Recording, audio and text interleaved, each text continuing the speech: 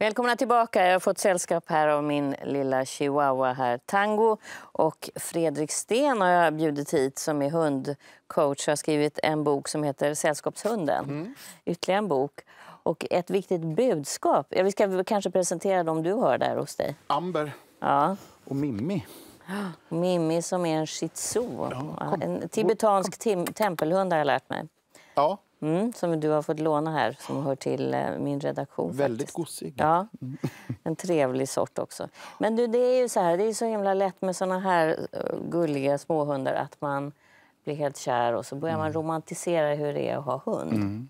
Berätta hur du tänker, för det är ett av dina budskap i den här boken. Ja, Gör jag, inte det? Jo, och jag hoppas också att det är som en röd tråd i boken, liksom, även fast när vi kommer in på problem och allting mm. i boken. Men jag tänker lite, det är så himla lätt att tro att hunden, eh, just min hund, är någon blandning mellan djur och människa mm. på något sätt. Vi, vi försöker ofta lyfta fram hur intelligenta våra hundar är och hur mm. smarta de är. Man kan läsa i media om att nu kan en hund lära sig tusen ord. Och så.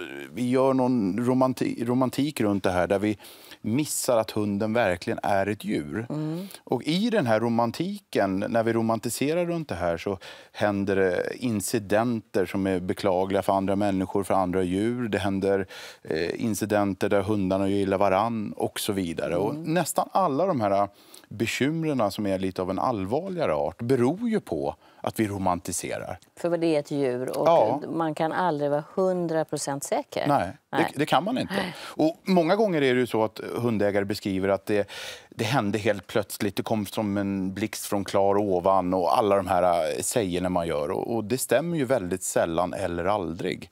Utan det är ju det att man har byggt upp något, eh, ja, romantik runt sin egen hund. Att min hund är så snäll och min mm. hund är så bra. Och där, mm. det är där det händer. Mm.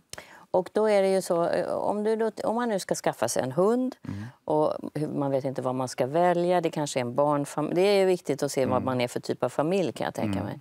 Är man singel eller är man barnfamilj? Mm. Hur ska man tänka då? Ja, Vad har man för liv? Ja, precis. Och sen är det ju så att många gånger så lever ju en hund längre än ett äktenskap lever idag. Alltså det, det är under väldigt lång De tid här också. små chihuahuorna lever ju 15 år. Ja. Småhundar blir ganska gamla. Ja, och det är en ganska stor del av sitt liv. Det hinner hända väldigt mm. mycket. Eh, och sen är det ju så då precis som du själv var inne på, om jag har barn exempelvis, vilken hund är lämplig för barn? Och då kan man ju liksom vända på det lite grann och tänka så här, vad menar man egentligen när man ställer den frågan själv? Eh, kanske är frågan, nu är jag på hundens sida, men kanske är frågan eh, vilken hund kan mina barn plåga mest?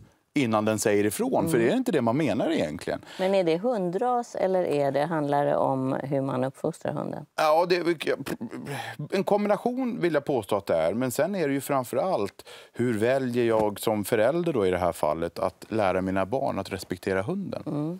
Mm. Och det är många tankegångar kring det där. Och det är väl, vad ska jag säga, en en självklarhet kanske att exempelvis en labrador eh, tål mer jobbiga ungar än vad kanske en rottweiler gör. Mm. Men det är inte säkert Samtidigt har man hört att det händer mer olyckor med labradorer. Ja, ja.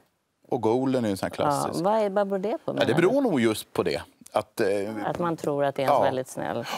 Och barn och hundar är ju... Eh, alltså, barn ska ju umgås med hundar givetvis, men det är ju inte barnens leksak. Liksom, utan mm. Däremot kan de bli bästa lekkamrater. Mm. Och sen har vi det här klassiska då, om jag är en människa som är och, och, vill vara ute mycket i naturen, åka skidor och motionera och ha med mig en hund. Då kan det vara lite olämpligt kanske att ha en chihuahua. Mm. Som sjunker ner i snön ja, och inte som har lust. knappt vill gå ut. Nej, så inte i regnet framförallt.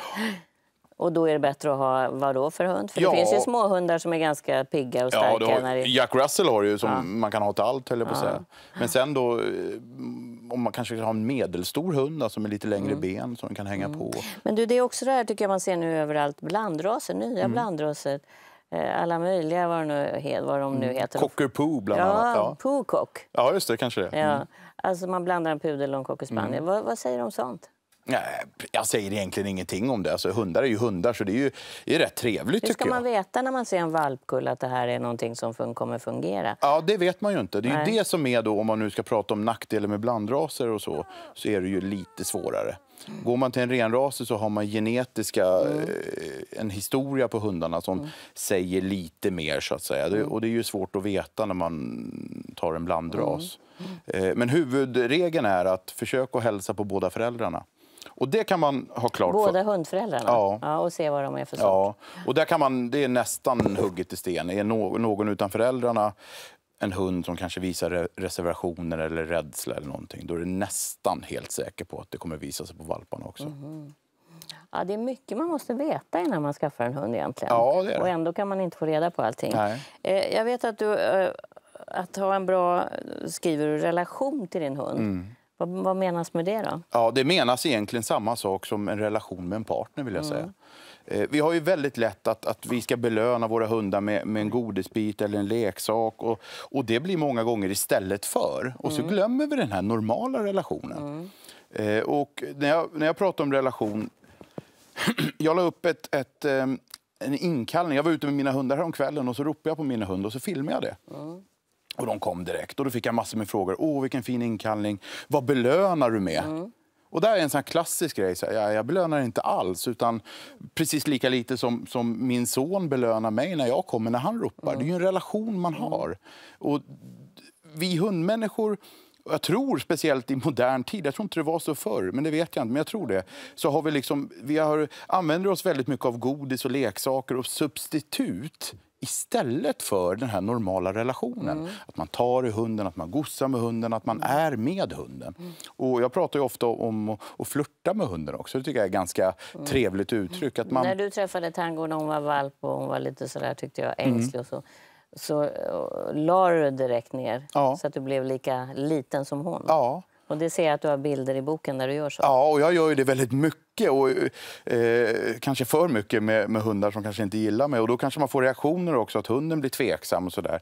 Men, men det beror inte på, det behöver man inte bry sig så mycket om. Utan det är ju sättet man bjuder på sig själv som skapar en relation på något sätt. Det är precis som med oss människor. Men det är också så att du har sagt att man ska inte överdriva. Om man kommer hem så kanske man inte bara ska eh, ropa högt Nej. och bli så förtjust för då Nej. Mm. kan det bli ett bakslag av att, att man, eh, när man inte kommer hem eller inte finns där så blir Precis. det med stor sorg. Mm, Man gör för stor sak utav det. Det är sant. Eh, och, eh, även fast det finns likheter i mänskliga relationer, mellan människor som har en relation, så finns det också olikheter givetvis. Eh, men man ska ha klart för sig, och, vilket också då ingår i det här att vi romantiserar runt hunden. Hunden har ju inte det här i våra ögon det här sunda förnuftet, det här eh, vad ska jag säga, plikttänkandet eller någonting. En hund gör ju bara det den får fördel av att göra. Och det är också en, vad ska jag säga, vi pratar om att hundar är våra bästa vänner. Vilket de är då, när det passar dem. Men om jag börjar mata Amber där Ja. Mm. eh, väldigt flitigt under en vecka så kommer hon tycka det är toppen. Ja, och speciellt om du gosar och brottas lite med henne också. Det är ju väldigt lätt för en hund att byta den här lojaliteten. Mm, det vill man ju inte veta. Nej, och det får, man, får jag kritik för ibland också. Att så är det inte alls, men det är så. Det är bara att det gör lite ont igen. Liksom. Ja. Du, det finns mycket att säga, men mycket kan man läsa i din bok. Tack så mycket för att du var här. Imorgon är jag tillbaka bland annat med regissör Ruben Östlund som ska prata om sin film Turist som är jättebra tycker jag. Och dessutom fortsätter vi på temat unga arga män. Se oss imorgon. Hej då!